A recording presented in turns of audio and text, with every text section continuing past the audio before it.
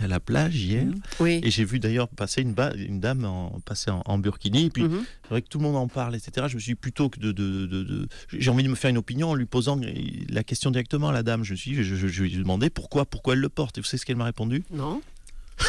Arrête, Nico C'est moi, c'est Jean-Marc Morandini. Écoute, je... je me suis acheté un, un burkini pour essayer, essayer enfin de passer les vacances tranquilles. Euh, D'accord. Voilà. Allez, je vous laisse enchaîner avec ce petit malaise. Oui, Euh, bah, très c'est bien. ça, voilà. Je vous embrasse à lundi. Merci, on va enchaîner très vite puisque vous serez de retour dès lundi matin à 8h40, Nicolas Canteloup, pour la revue de presse sur Europe 1 à lundi.